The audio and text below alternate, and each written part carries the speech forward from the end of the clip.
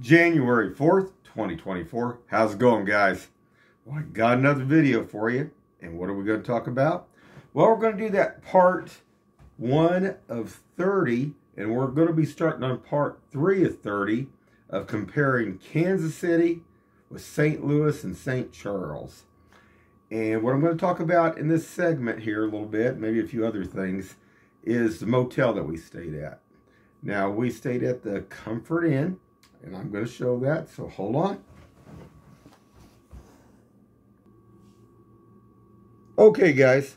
Now, this is in St. Charles here. This is the Comfort Inn.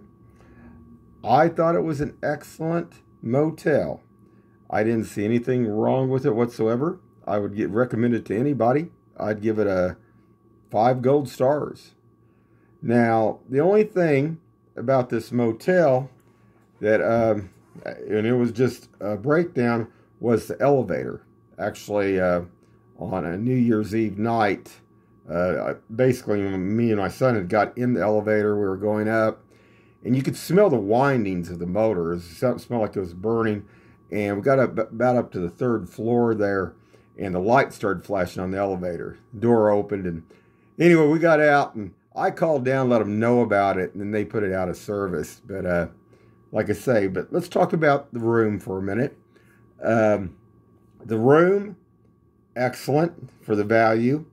It was around, with tax and everything, it was about $129 for uh, two beds there.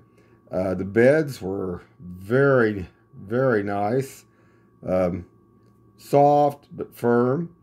Um, not a large TV, just a normal TV. So if somebody's looking for some big screen TV in a motel room, that's not this. This is just a, a good, clean place to stay. And uh, I want to talk about also, they have a free continental breakfast. I've ate at a lot of different places and, and been in a lot of different motels, hotels over my life. And I would give this, like I said, I'd give this a 10 uh, last time I was down at Springfield, uh, when in Springfield they had a Hilton down there, and their continental breakfast was just awful. I mean, it, it was nasty. And uh, this place here, it was really good. I'm going to show that, so hold on. Okay, guys. Now, this is just basic standard like you'd have at any other if you're getting a continental breakfast. They had muffins, they had bagels, uh, they had eggs. They had link sausage. Uh, they had different kinds of juices there. They also had cereal and milk and stuff. But this was actually good. I was really, like I say, I was kind of leery about even trying their breakfast menu because there was a Waffle House down the, st- the street down here from it, only a few blocks away. And like I say, last time I was at Springfield, not good. So I thought, well, yeah, we'll try it. And uh, like I say, I mean, it, it, would be good just as good as Denny's. I mean, and uh, I wanted to show that. Now, the staff here at this motel, very prompt, very uh, polite, very helpful. Excellent. Now, also, also, what I want to talk about is um, security. Now, the ends of the buildings basically are only for emergency exit only where they got them. And they're uh, in the lobbies and in the hallways. There's cameras all up and down. So basically, I mean, they're keeping all any if there is any riffraff around that area, they're keeping it down and out. And like I say, seemed like a very you know safe place. If, if you had kids, taking kids there, they had a pool. There's a lot of kids in the swimming pool. Pool's open till 10 o'clock at night. So, um, wanted to talk about that a little bit. Now, this is just a short little video. And I'm going to make one talking about Noland Road over here because I was just over there this morning driving by.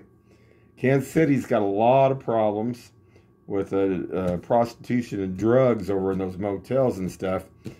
And I oh, I got another one for you. Actually, somebody even had lights in one of the motel rooms lighting the window up. if you want to check that out, check that out in my part four comparing Kansas City to St. Louis and St. Charles. So hold on, guys.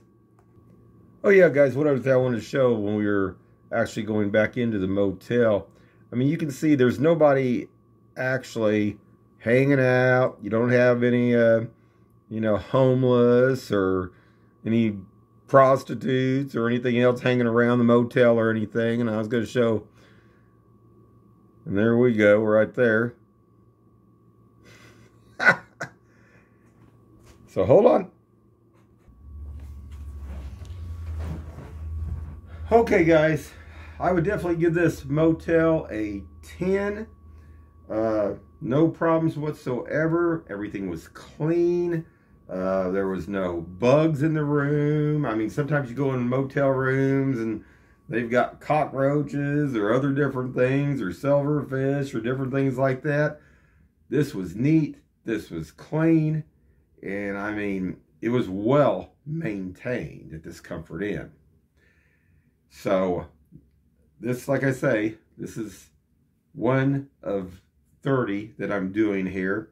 And my next one, I'm going to be comparing it over the one over here on Noland Road. It's a, it's actually a Quality Inn a little bit. I'm going to show some things. Now, I've posted uh, basically lots of things that have gone out. They, they let people hang out out there outside and stuff at this one over here on Noland during the weekends and stuff or at nighttime, even during the week.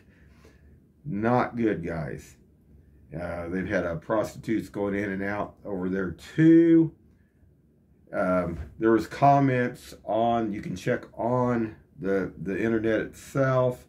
Um, one person said that this place, they'd never go back. They said the pool was down at one time. Whether it is still or not, I don't know. But said the place smelt like weed constantly and uh, not good. Oh, and there was no at this Comfort Inn there in St. Charles. Didn't smell no weed anywhere. Actually, didn't smell no weed anywhere at all in St. Charles or anywhere else, even over there when we were at the Arch and everything else. We went through the, I guess that's supposed to be the richer area. We went to the poor area. Didn't smell nothing.